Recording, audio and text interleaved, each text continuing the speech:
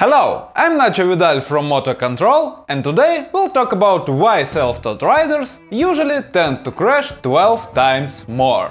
By self-taught riders, I mean not only people who, well, taught themselves to ride a bike, but also people who were taught not by trained instructor, but by friend, family member or any other guy who were supposed to know how to ride. I already can see the comments like My uncle taught me how to ride a dirt bike in 1992 and I rode since without an issue. That's okay, that's why I said self-taught riders usually tend to crash, not always crash. That's not something I just made up. One of the conclusions to famous Hurt report says the motorcycle riders involved in accidents are essentially without training. 92% were self-taught or learned from family or friends. Motorcycle rider training experience reduces accident involvement and is known to reduce injuries in the event of accidents. Now, the Hurt Report study was published in 1981. Of course, a lot has changed since then, but still, almost 12 to 1 ratio looks impressive. Proper training really significantly reduces the chances of crashing the bike. But why? What's so difficult about riding bikes? After all, there are 4-year-old children riding them. It can't be that hard. Yes, indeed, riding a motorcycle is not a rocket science, but still it requires at least some level of training. On car, for example, you sort of can start driving as a complete noob cars are relatively forgiving.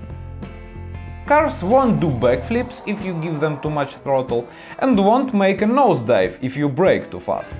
And if you crash in a car, you have a whole metal cage around you for protection. On bike, you have only your protective gear, which can only do so much. To make matters worse, a lot of riding techniques can be pretty counterintuitive and confusing at first. Just take steering process, for example steering on motorcycles is so confusing that it's even called counter-steering. On a car, steering is pretty simple. We turn the wheel right, car goes right. We turn the wheel left, our car goes left. The more we turn the wheel, the tighter the turning radius is. Very simple. Steering on a bike is more complicated. For example, to turn left, we have to initiate the turn by temporarily turning the front wheel right. It upsets the balance of our bike and makes it lean left. Only then we release the pressure from the handlebars and let the front wheel turn itself back left. For a self-taught rider, this whole process can be very confusing. Eventually, every rider starts to use counter-steering to a degree because really it's the only fast way to turn a motorcycle. But many riders proceed to do it unconsciously. They think they turn the bike by leaning or counterleaning their body, by pressing the knee into the tank, by loading outer or inner foot peg, by turning their head or butt, etc. All this only leads to a ton of wasted energy and not very effective turning of the bike. And while very perceptive and self-aware person certainly can learn countersteering all by himself, unfortunately, it is not always the case, and usually it takes much less time to learn countersteering with a good instructor.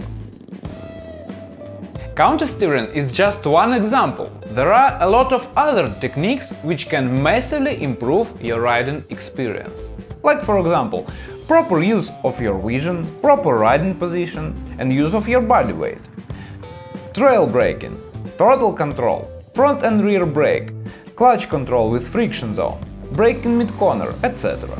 A lot of this stuff can be very counterintuitive and very difficult to practice on the road from zero level. But for each of these techniques, there is a certain set of exercises, which breaks it down on simpler components and lets to learn this technique easily and safely, without putting yourself at risk.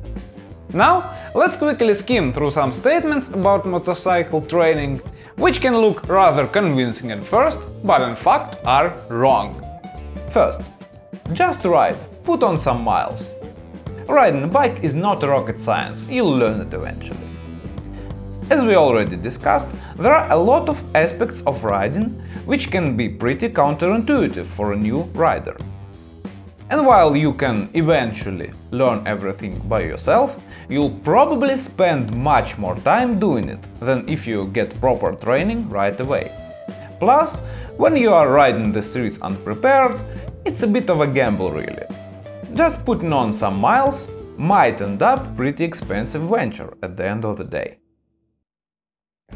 Just ride safe and you'll be okay. It would be a great advice if it wouldn't be so unspecific. It's really equal to just ride and don't crash, okay? Hardly anyone intentionally rides down the road unsafely with intention to crash. But how can I really ride safely if I don't know, for example, how fast my bike can brake? Maybe it will brake in 10 meters, maybe in 100. So how much space between me and the car in front of me is safe? That's also something a good training course will teach you. So you'll know exactly how to just ride safe. All your training is useless, because in a stressful situation you'll panic and crash. True, in extreme road situation a rider can panic, but for different riders there will be a different panic threshold. For a guy with no training and no experience, if a car suddenly turns in front of him, that will be horrifying. He will not know what to do. He doesn't know how to brake fast, he doesn't know how to swerve. These situations usually produce stories about I had no other choice, I had to lay her down.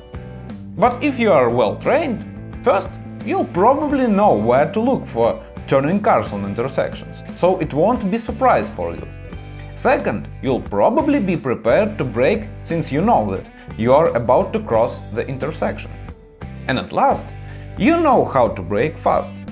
So you'll deal with this situation with ease. Why should you panic? But not everything on the road depends on us. There are a lot of other idiots. Yes, that's why a big part of good motorcycle training is a road strategy, which teaches us how to avoid most of the idiots on the road. Yes, nobody's 100% safe on the road, that's the sad part of reality. But by applying good road strategy, we can avoid problems probably 9 times out of 10, because vast majority of road situations are pretty typical. Once we learn how to avoid them, we significantly reduce our chances to be struck by some idiot on the road. You don't need all these fancy riding techniques. They are for track only. All you need is to ride by the rules. Yes, but remember previous topic. Not everyone on the road drive by the rules all the time. Plus, people, and not only people nowadays, make mistakes all the time. So even if we ride by the rules with speed limit and so, sooner or later we'll have to face some emergency scenario, where our riding skills will play a critical role. You don't need all the fancy riding techniques, all you need to do is to be aware and watch the road situation. Well, first of all, the road strategy is a big part of any good motorcycle training course. But also remember that to be able to monitor the road situation around you, you have to have some computing power to spare. If the tasks like braking, turning or accelerating take all your attention, you won't have anything to spare on the road situation. That's why we actually need to feel very confident and relaxed on our bike, which again is achieved by training. Alright, I think that's enough for today.